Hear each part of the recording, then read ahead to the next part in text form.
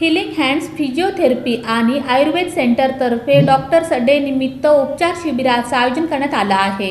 Doctors day निमित्त healing hands physiotherapy osteopathy आणि आयुर्वेद सेंटरतर्फे दोन दिवसीय उपचार शिबिर आयोजित करण्यात आलं आहे मणकेची तपासणी करायला लागेल. कुठलेही ऑस्टिओपॅथी किंवा कायरोप्रॅक्टिक ट्रीटमेंट द्यायच्या आधी मणकेची तपासणी कंपल्सरी करायला पाहिजे. असंच आपण डायरेक्ट उपचार दिलो तर उपचारमध्ये कुठली इजा होऊ शकते कुठला साईड इफेक्ट होऊ शकतो कुठली चुकून जर कुठला हाड हाडावर किंवा नसावर प्रेशर आलं तर दुसरे वेगळे प्रॉब्लेमचे निर्माण होऊ शकतो. तर एक कौशल्य ऑस्ट्रोपॅथ किंवा कायरोप्रॅक्टर आधी स्पाईनची स्कॅनिंग करतो. तर आता ह्यांना कमरेचा त्रास आहे. मी कमरेची पोट चेकिंग करायला. म्हणजे व्यवस्थित बघायला की कुठला मनका कुठे सरकला आहे कुठली शीर दबली आहे. तर आता मी एक हाताची पद्धतद्वारे वेगळ्या पद्धतीने ह्यांची मनकीची तपासणी करते शनिवारी या शिबिराचं उद्घाटन झालं.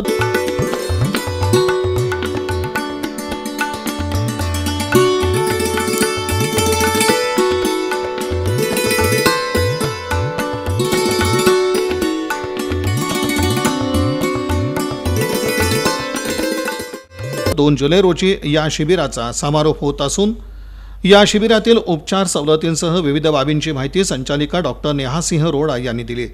आज एक जुलै दोन हजार तेवीस आहे आणि दरवर्षी एक जुलैला डॉक्टर दिवस साजरा करण्यात येत आहे. पूर्ण भारतामध्ये ह्या दिवसाचं खूप वेगवेगळे प्रकारने सर्व लोक सेलिब्रेशन करत आहेत. पण नियमी मी पेशंटसाठी काहीतरी काय वेगळं करायचा प्रयत्न करत आहे. त्याच पद्धतीने ह्या वेळेस पण डॉक्टर दिनानिमित्त हिलिंग हँड्समध्ये खूप मोठा शिबिर आयोजित करण्यात आलं आहे.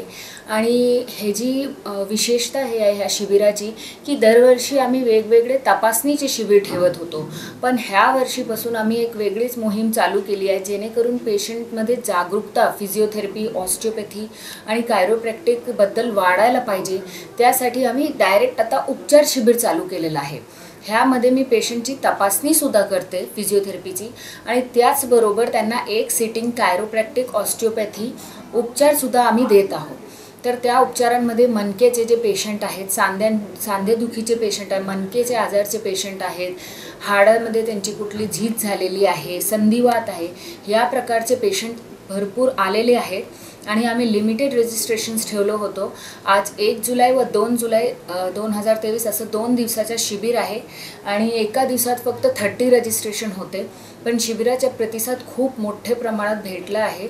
म्हणजे फक्त सोलापूरला नाही तर खूप महा म्हणजे पूर्ण महाराष्ट्र कर्नाटकामधनं पेशंटसुद्धा इथे येत आहेत. या शिबिरातील फिजिओथेरपी ऑस्टिओपॅथी कायरोप्रॅक्टिक उपचाराचा अवश्य लाभ घेण्याचं आवाहनही त्यांनी केलं.